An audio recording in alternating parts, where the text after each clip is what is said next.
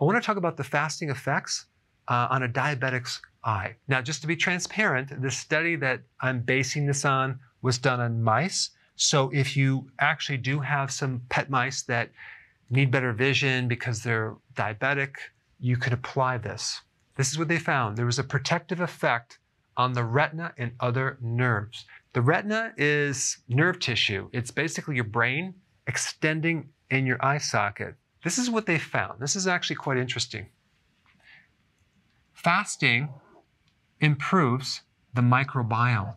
The microbiome are your friendly bacteria.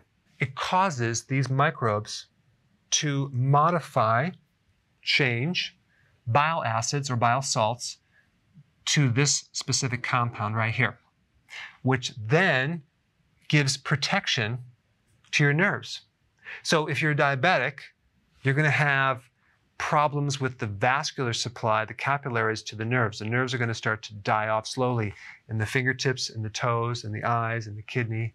And so this compound counters the damage to the nerve, not just in the eye, but other nerves as well.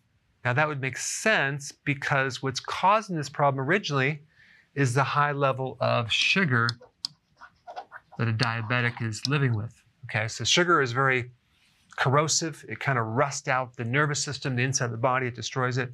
So you're basically not eating, so you're going to eliminate this as well as drop and normalize your insulin levels.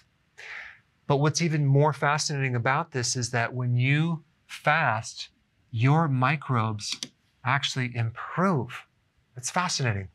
They start to increase the resistance to oxidative stress. They start to diversify. They actually build up their community. They become stronger. You would think if you starve them, they would die off faster. No, they live longer, okay?